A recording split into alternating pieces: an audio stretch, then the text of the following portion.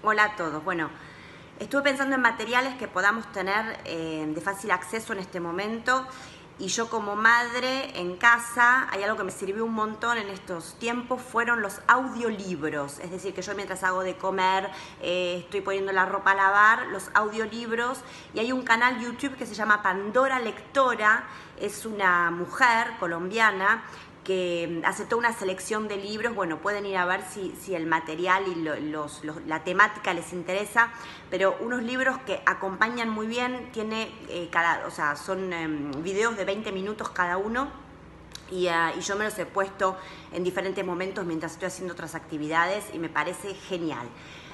Alejandro Jodorowsky, sus películas iniciáticas eh, para viajar.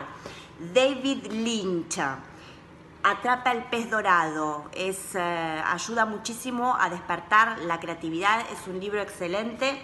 Y quisiera recomendarles una, un paseo por la calle Corrientes en este momento, que para justamente todo esto hay librerías abiertas y em, ventas de videos abiertos y la reserva, que aunque está cerrada se puede hacer un paseo por em, sus bordes, la reserva ecológica.